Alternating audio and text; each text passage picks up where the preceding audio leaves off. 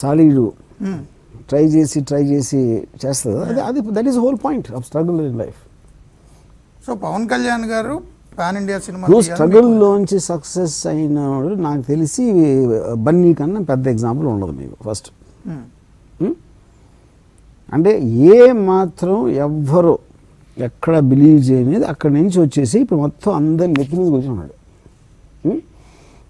So that మీ మీ కళ్ళ ముందు ఉంది కదా ఎగ్జాంపుల్ సో బన్నీ అంటే ఎందుకు మీకు అంత ఇష్టం? బన్నీ అంటే ఇష్టం అని నేను చెప్పలా. I I told I told Bunny is a irrefutable super star of the country the way he came up and which place he is in right now Bunny అంటే ఇష్టమా? దాని మొహం ఇష్టమా? దాని డాన్స్ అది చెప్పలేదు I'm just stating a fact. అది నాకు నచ్చదు నచ్చకూడదు. దానికి దానికి ఏం ఫరక పడుతుంది? ఇర్రెఫ్యూటబుల్ ఫ్యాక్ట్ అది. యా సో ఇప్పుడు ప్రభాస్ కూడా పాన్ ఇండియా స్టార్ అయిపోయారు. Bunny pan India see yeah see నా పాయింట్ ఏంటంటే see Prabhas I still feel okay though is obviously అంటే అంటే బాహుబలి అనేది ఒక unique film Yeah. Something like that never been seen in India so Rajamouli talent వచ్చి ఎక్స్ అవ్వచ్చు తీసిన విధానం. I'm not taking away from Prabhas. Personality I'm not saying that no అదే కానీ నాకు Bunny success is much more than Prabhas success ఎందుకంటే బన్నీ మీకు తను వచ్చిన విధానం కూడా స్లోగా అయ్యాడు star it's not like overnight or second రెండోది పుష్పకు వచ్చేసరికి నార్త్ ఇండియా తెలియదు అసలు ఎవరికి. పుష్ప అనే సినిమా వస్తుందని పబ్లిసిటీ లేదు ఏమీ లేదు అసలు. నాకు తెలిసి ఒక ఈవెంట్ కూడా చేసి ఒక ఈవెంట్ చేశారు అనుకుంటున్నాను రిలీజ్ చేసిన నమ్మకం లేదు. అది కూడా రాజమౌళి గారి వల్ల ఏమీ లేదు. అలాంటిది వచ్చి అంటే pure merit and liking Yeah. Merit film ఆ. క్యారెక్టరైజేషన్ తను చేసింది ఇంకోటి ఏంటి బన్నీ ఇంకోటి ఏం చేశాడు మొత్తం బాలీవుడ్లో ఎంతవరకు ఏం నమ్ముతారు చాలా అందంగా ఉండాలి ఫేర్గా ఉండాలి రణ్వీర్ కపూర్ లేకపోతే షాహిద్ కపూర్ ఇలా ఇలాంటి ఇలాంటి. స్టార్స్ ఉన్న చోట ఒక తెలుగు యాక్టర్ నిలబడగదా మనం చాలాసేపు మనం చాలా వరకు ఏం నమ్మాము మహేష్ బాబు ఒక్కడికే ఉన్నాయి. నార్త్ లుక్స్ ఫేర్గా ఉంటాడు తెల్లగా ఉంటాడు అదే. ఇప్పుడు ఒకటి బన్నీ అసలు ఆ కేటగిరీలోకి రాడు. Hmm.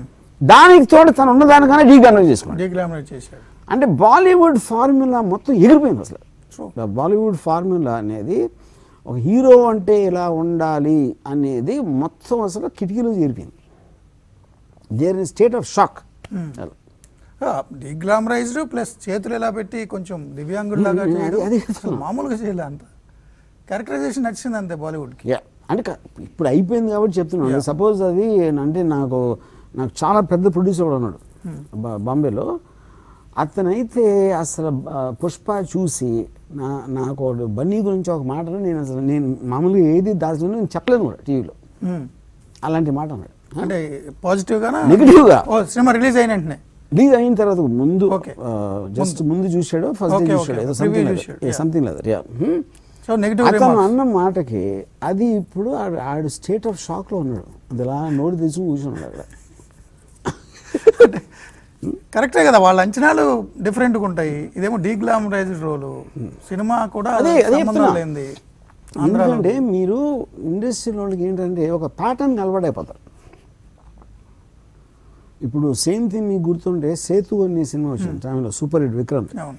అది మొత్తం డీగ్లామరైజ్ చేసి ఆ విక్రమ్ని అది చేసి అది అక్కడ సల్మాన్ ఖాన్ ఏమో పెద్ద జుట్టు పెంచేసి ఫుల్ గ్లామర్ అని చేసాడు ఎందుకంటే ఇప్పుడు మీకు మీకు ఒకే ఒక్క వ్యక్తి మీరు చూస్తే ఇది ఫస్ట్ నుంచి ప్రూవ్ చేసింది ఎవరంటే రజనీకాంత్. ఆ స్కేర్ చేయడు అసలు.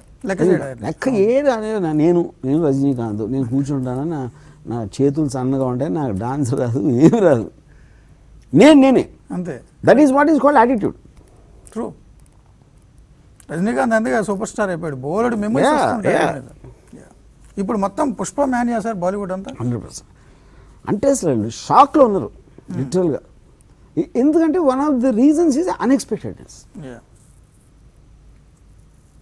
అంటే రిలీజ్ అయిన టైము కోవిడ్ టైము పెద్ద సినిమాలు పోస్ట్ అంటే నడుస్తానే ఉంది ఆ సినిమా మీరు. అన్నట్టు ఫస్ట్ రోజు మాత్రం తక్కువ కలెక్షన్లు వచ్చినాయి డే వన్. తక్కువ వచ్చినాయి. నాకు రిలీజ్ చేసిన వాళ్ళు కూడా మండేకి ఎగిరిపోతుందని చెప్పారు. రిలీజ్ చేసిన కొంతమంది డిస్ట్రిబ్యూటర్స్ కూడా నాకు తెలిసిన వాళ్ళు మండే థియేటర్స్లో ఉండదు అని చెప్పినారు. ఫ్యూజులు ఎగిరిపోయి ఉంటాయి ఇప్పుడు అంటే అసలు అది almost it is changing entire మా పుష్ప అనేది మొత్తం బాంబే బాలీవుడ్ని మైండ్ సెట్ చేంజ్ చేసేసింది. సో బాలీవుడ్ స్క్రిప్ట్ రైటర్లు డైరెక్టర్లు స్టోరీలు మార్ స్టోరీ టెల్లింగ్ మారుకోవాలి. పుష్ప చాలా కష్టం అండి. దానికి రీజన్ ఏంటంటే